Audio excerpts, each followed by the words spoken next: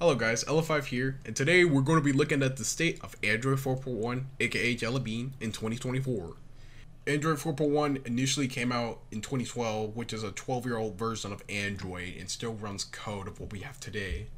So what we're using for this video is the Samsung Galaxy Stratosphere 2 from 2012. This phone has a slide out keyboard which makes it unique. Despite the old age, you can still use 4G LTE on this phone, which is really cool in 2024. So let's get started. Alright, so here's a legendary phone. Yep.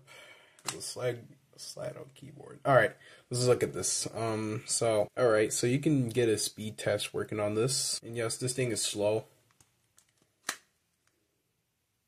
looks small to my hands too. You can look at it this way. Begin test.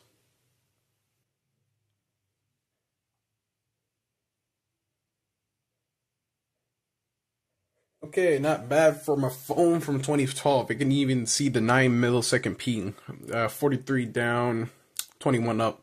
So, nice, nice stuff. Alright, so I want to browse the internet. So, let me get on my Sato keyboard. Oh, crap. I think I, yeah.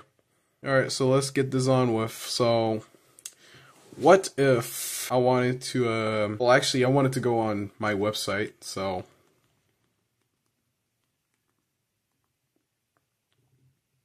apparently it says that uh, my my connection is not private, but we know that that's because we're running Android 4. So far, it looks kind of weird. YouTube works with this, as you can, as I can uh, go on YouTube and stuff. I can look at all these apps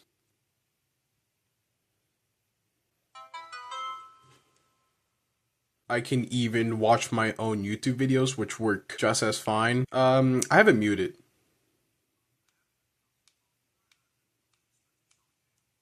And of course, it looks kind of pixelated, as you can see.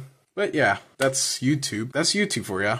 Um, you can also run it in the browser, but I prefer just running it in the app because it's like less laggy, less choppy, and it gives you a better experience overall. So rather do this than just go on the browser. This one's Kiwi browser, by the way.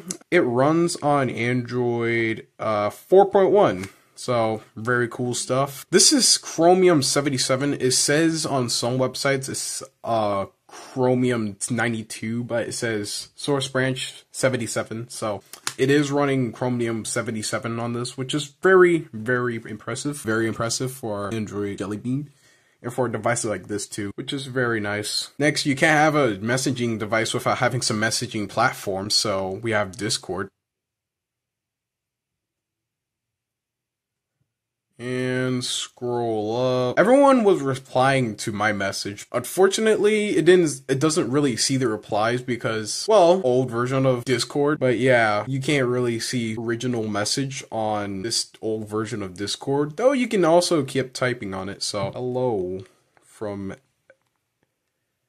SCH.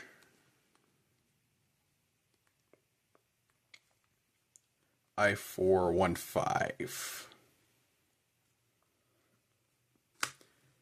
Yeah, so this Discord works. Uh, you can also see I have the Instagram on here. Instagram Lite works. I say that Instagram Lite is like a lighter version of Instagram, but it but they made it to where it works on Jelly Bean, so that that works. Yeah, at least there's that.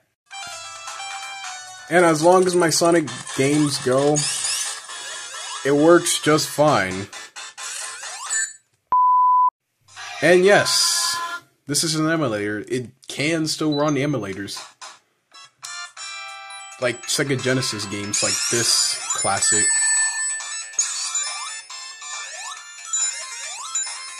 This is this game is such a classic.